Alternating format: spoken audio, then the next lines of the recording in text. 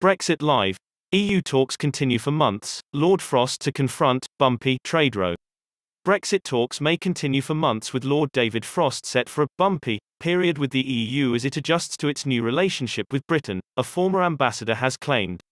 Although the UK left the transition period on January 1, Sir Ivan Rogers, who was the permanent representative to the EU between 2013 and 2017, has claimed Brexit is not yet done. Following Lord David Frost's promotion to the Prime Minister's cabinet, Sir Ivan claimed the move shows Brexit is a permanent negotiation between the UK and EU.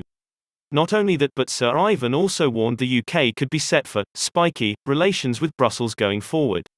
Speaking at the EU UK forum, Sir Ivan said, It's going to be a bit spiky, maybe more than a bit spiky. It's going to be pretty bumpy. We aren't at the end, we are at the beginning of a new chapter and there's plenty still to do. Indeed, there are several areas such as financial services which have not yet been agreed between the two sides.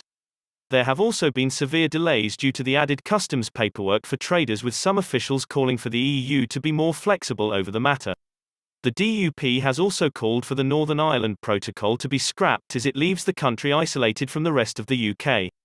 However, in a sign of defiance, Sir Ivan claimed Lord Frost's position shows the UK will not want to reopen negotiations.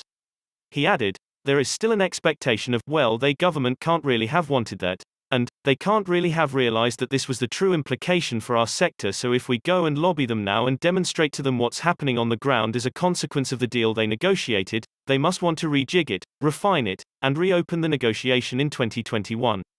I suppose, in shorthand, my advice is don't believe it, guys. We are where we are. There's no new negotiation to be had.